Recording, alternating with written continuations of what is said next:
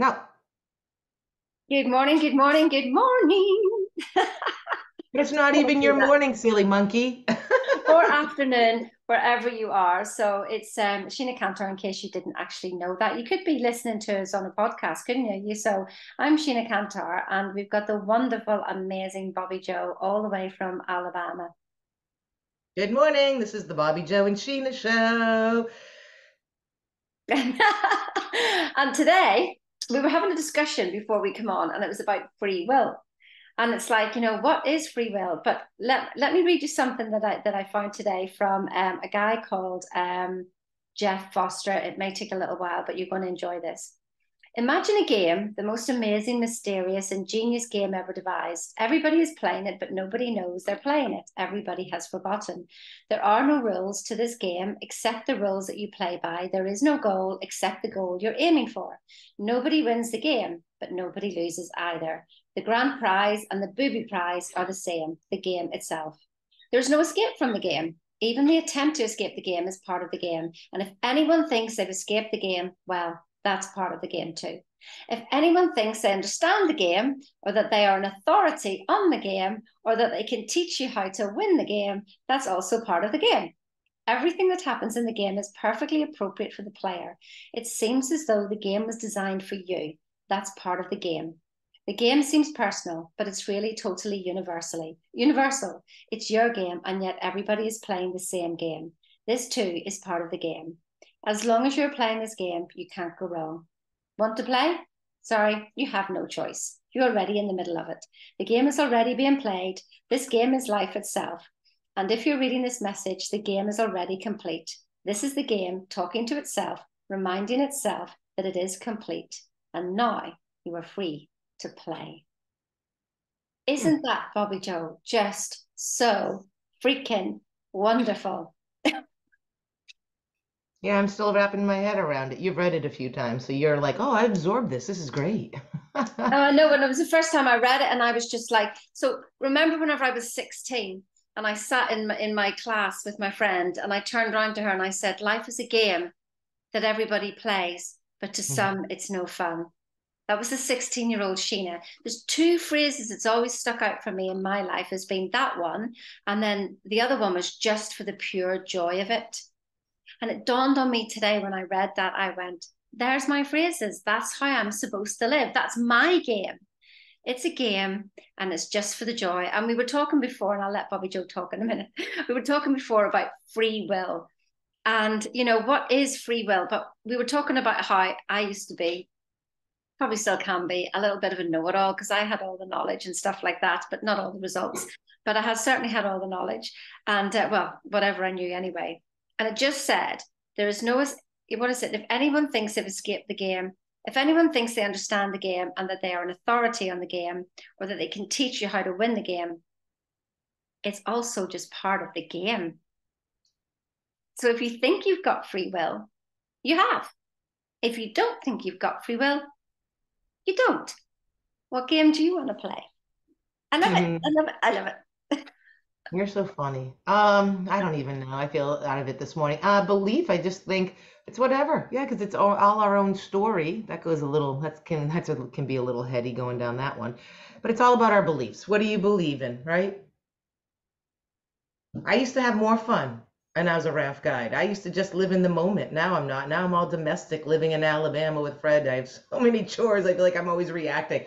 She, you know, I can talk about that. I am so reactive to my senses. I sent you a Marco Polo on the way home last night during sunset.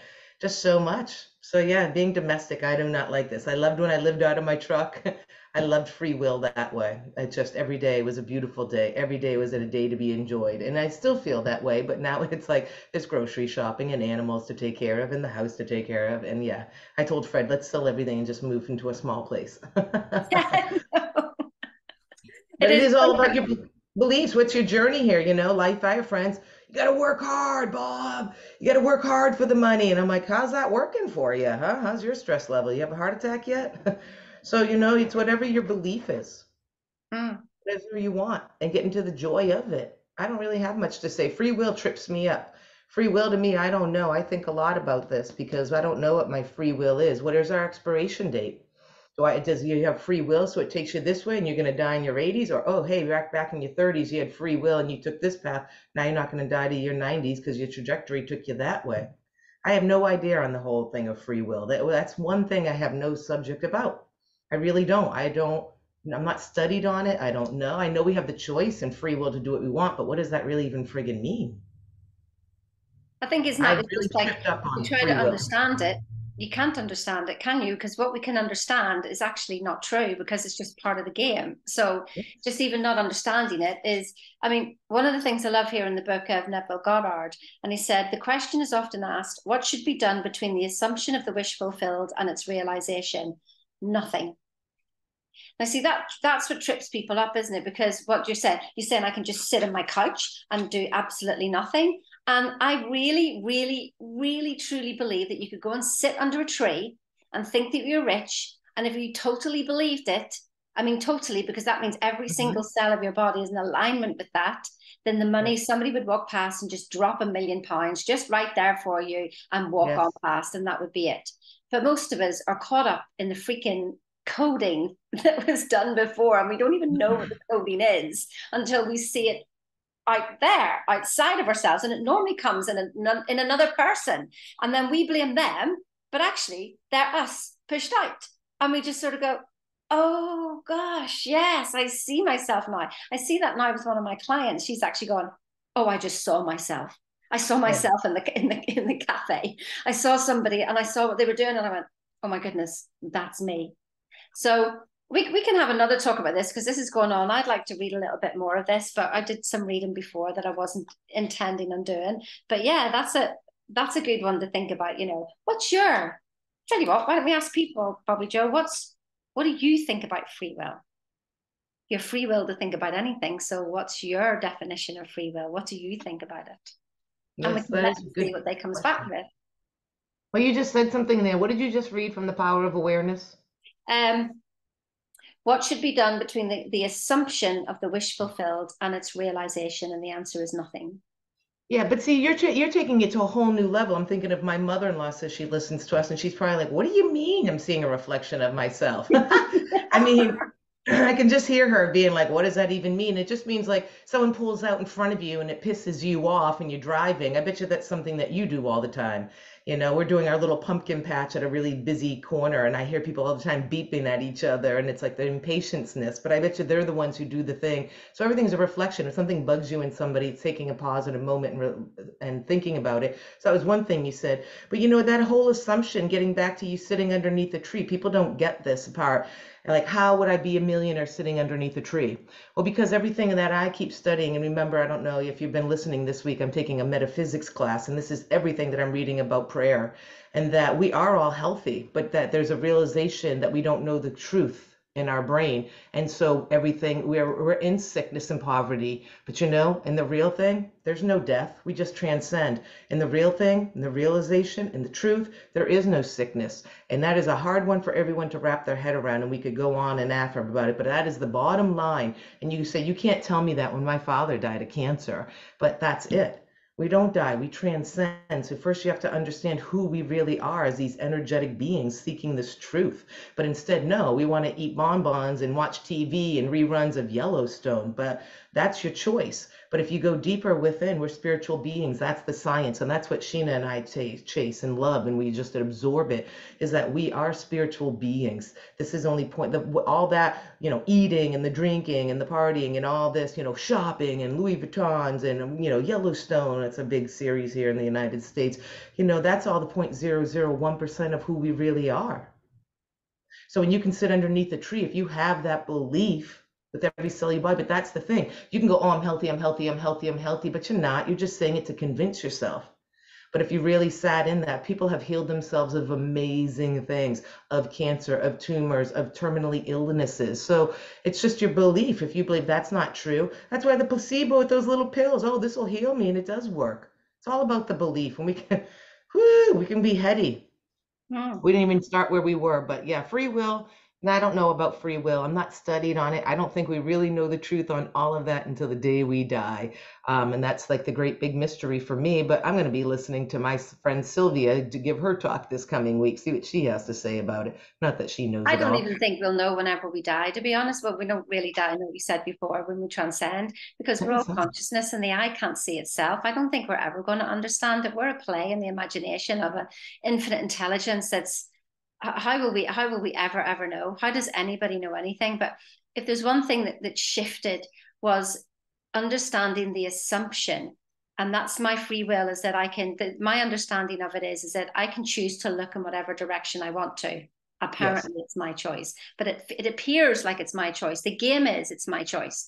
So i will look in the direction. So if i want if i want to look at this and choose this perception then that's where i'm going to go.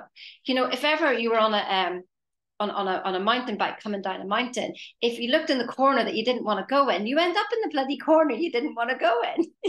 and you were going, well, I don't want to go there. Hope I don't fall down there. Hope I don't fall down there. And the bike would end up going that way. So your consciousness is going to go wherever you're looking at. And that's the only free will you've got. After that, creation is finished and you've set a new path. And that path is going to be done because of where you're actually looking. And one of the things I really, really realized was is that I used to even write my affirmations to get well, if I mm. write that I am healthy, I am healthy, I am healthy, then I'm trying to get health. Well, that in itself is actually screaming to the universe, I'm not healthy. So Absolutely. the assumption is there's nothing I can do to be healthy because I am. Period. Detach, drop like a hot potato, and go through your day in that feeling of there's oh what's the saying from the um from the Zen masters, isn't it? When there's when, when you do do do, there's always more to do. Yes. When there's nothing to be done, when there's nothing to do, then there's nothing left to be done. And it's like the, the difference in the vibration. One is like, when is it happening? The next one is, it's already done. Space and peace. That's the law of assumption is I think for the first time, I finally had a penny drop moment about. I have it right up here. I have one good one quote I'll end on, but I just want to say I agree with you. That's what I've always said to people, you know, when I coach. It's like, yeah, if you're skiing the trees, you look where you want to go, because if you look at the tree, you're going to go right into it. So you watch the path that you want in those trees for sure. So exactly. This is the quote. I don't know where I got it. Probably in um, Neville Goddard there, but willingly identify yourself with that which you most desire knowing it will find expression through you. Wield to the feeling of the wish fulfilled and be consumed as its victim, and then rise as the prophet of the law of assumption. It's already yours. You wouldn't want it. You have to get into that vibration. Any of you that are listening, we're doing a really long one today. We're going in circles. Anything you truly want can be yours. You just have to see it as that. You're in it. It's yours. So I love I. I don't know how we got to free will to this, but here we are. I love what you said, and I will, I will finish on that. Identify as. And then you also said the victim of it. And it's like, wow, that's a surrender. Okay, okay. So this is happening anyway. But um, one big quote um, You've got free will in choosing your assumptions, but no power to determine conditions and events. And I'll leave that because that's wide open again. I'm going to leave it with that one because we could carry on talking forever. All right. Have a great one. We'll talk to you soon. Leave us a message. We'd love to hear from you.